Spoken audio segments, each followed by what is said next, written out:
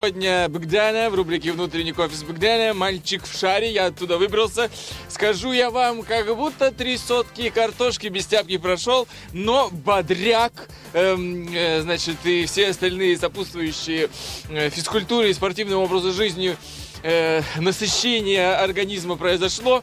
И для вас сейчас э, команда Максима Первушина покажет, как играют в футбол настоящие бампер баллисты. И по моему свистку по команде начинается матч!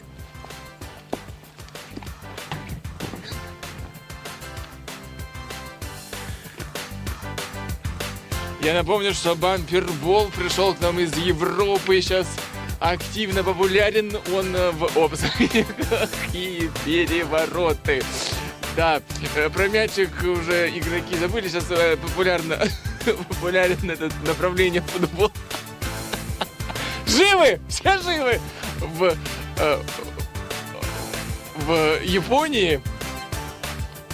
Но вот видите, да, в Красноярске, если вы заинтересовались этим видом спорта, можно отыскать Максима Первушина во ВКонтакте э, в сети. Вот сейчас попрошу его подойти. Максим. Э, спасибо большое. Или э, уточнить э, у, у нас по редакционному телефону 205-06-78, как э, приобщиться к этому движению бамперболистов. Э, как ощущение? Ощущение устал. Э, Максим, э, Скажите, пожалуйста, э, кому хотите передать привет сегодня утро и пожелайте что-нибудь нашим телезрителям?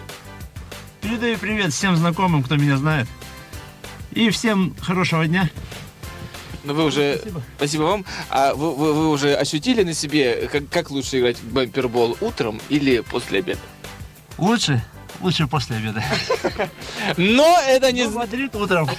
Это не значит, что аромат утреннего кофе э, вас э, не взбодрит, как игра в бампербол. Э, Юля, Алексей, а как давно вы шары катали?